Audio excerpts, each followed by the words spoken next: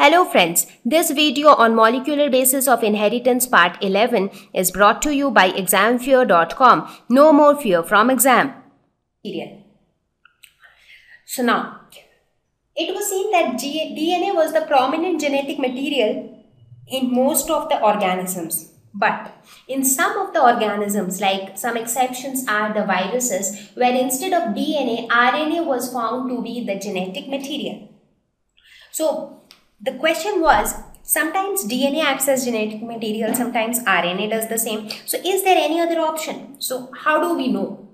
So, what decides that which molecule can be a genetic material? I mean, why is it that not neither protein nor carbohydrate nor lipids can be genetic material? It is only the nucleic acids which have the property to become or to behave as a genetic material.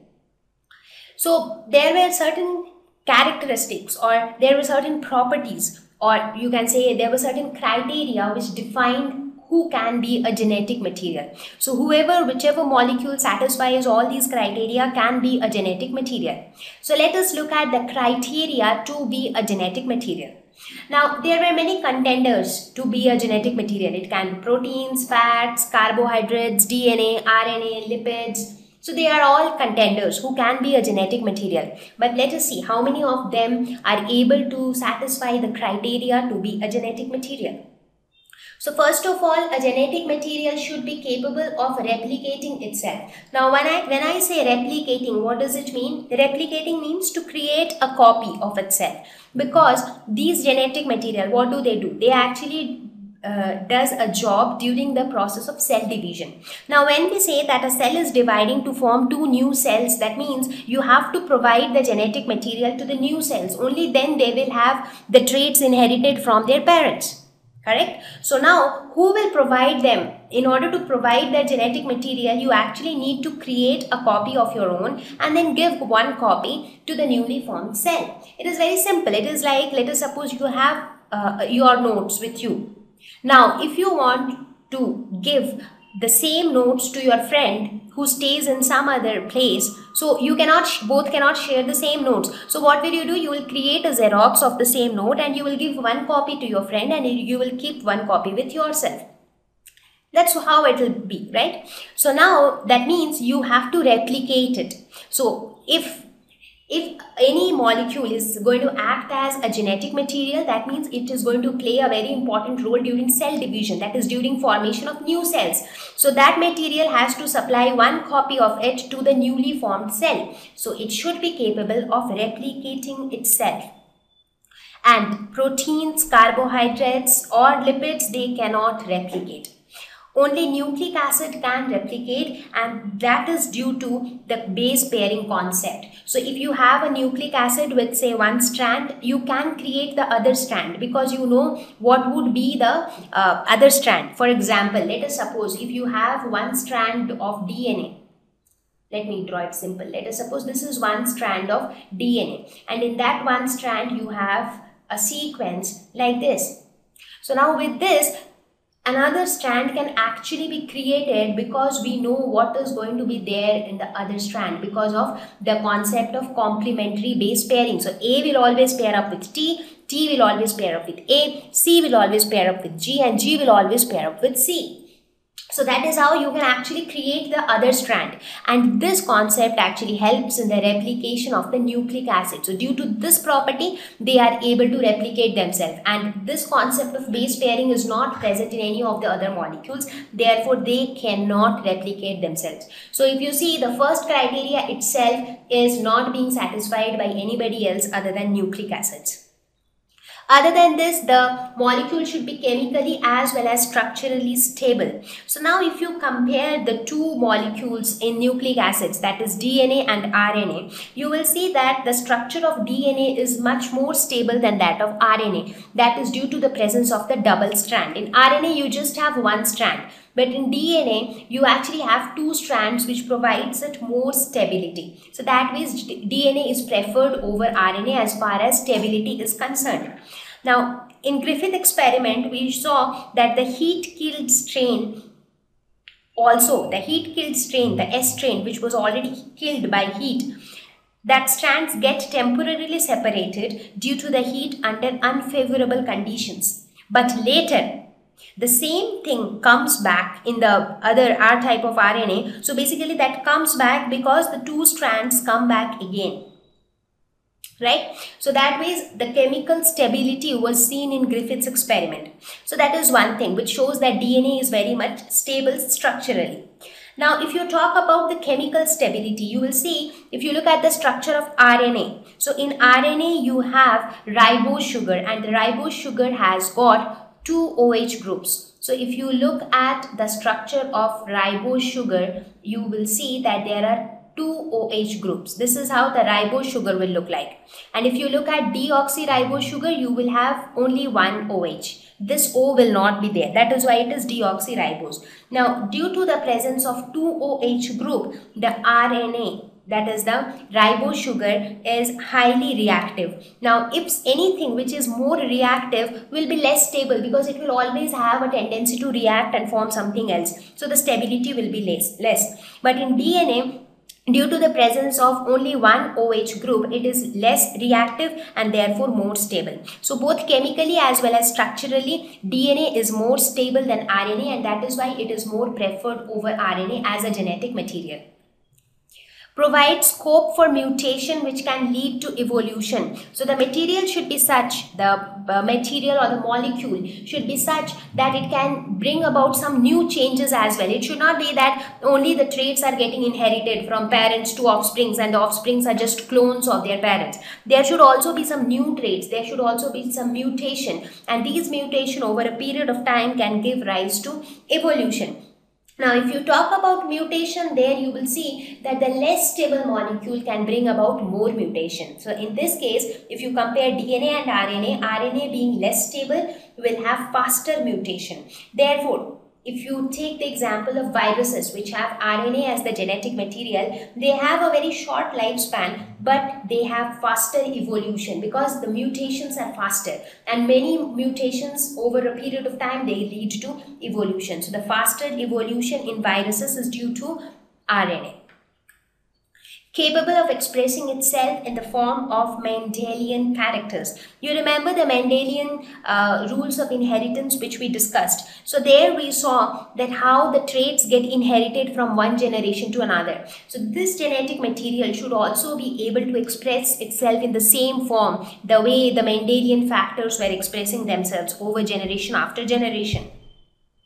So what happens basically here is from DNA, RNA is synthesized. So DNA is capable of creating RNA and RNA is capable of creating or synthesizing proteins and proteins will then control over the traits. So that is how it, the entire process is actually handled. Now we will look at the detail of each and every step involved in this entire process.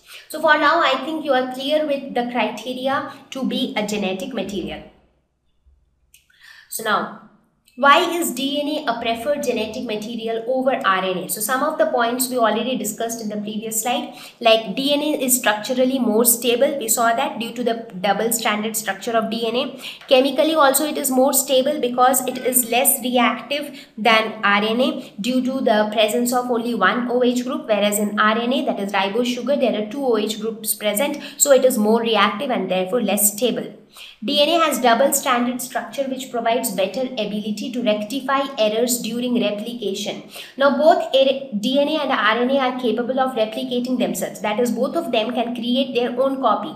Now there are chances that errors might occur during copying because anywhere error can occur right so when you are copying a, making a copy of a DNA. So you need to ensure that all the bases are being correctly copied. You, there shouldn't be even one A replaced with a G because that is going to make a huge difference later.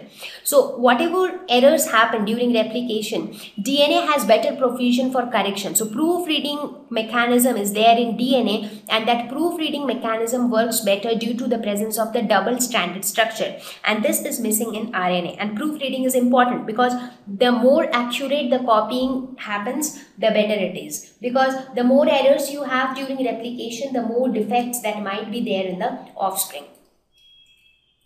DNA can't code directly for protein synthesis and thus depends on RNA. So this is one way where RNA is having an edge over DNA. Now RNA directly will code for proteins. Now the sequence of base pairs or the sequence of bases on RNA directly is going to decide what would be the sequence of amino acids and those amino acids will form proteins. So RNA in a way doesn't depend on DNA for protein synthesis but DNA cannot directly synthesize protein. It has to synthesize RNA and RNA in turn will synthesize proteins.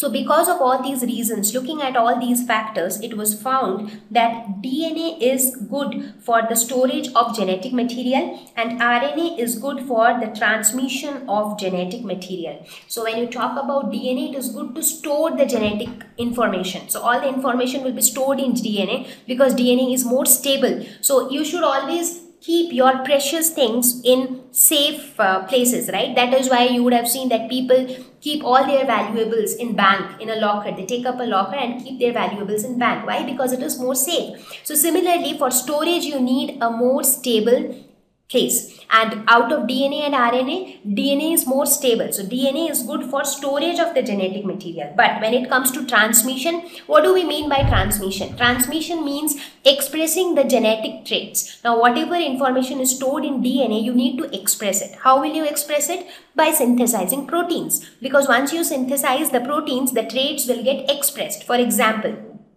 let us suppose that uh, for eye color, right? Eye, your eye color is brown. What does that mean? The protein that is responsible to give brown color to your eye, that protein has been synthesized. And who synthesized that proteins? RNA synthesized that proteins. And who sent, who created that RNA? That RNA was created by DNA. So basically, RNA will help DNA to express the information which it has so that is how RNA is useful. And what is the purpose of DNA? DNA will safely store the information. It will safely store the sequence of bases which give brown color to the eye. But it cannot directly synthesize the proteins and give brown color to the eye. It cannot do that. It needs RNA for that. So RNA is preferred RNA is preferred for expression of the genetic information and DNA is preferred for storage of genetic information.